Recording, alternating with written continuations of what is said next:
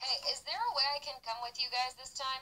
Absolutely not. I forbid it. Not gonna happen. Sorry, sweetie. Spring break is no place for young, vulnerable goth girls. You know the kind of freaks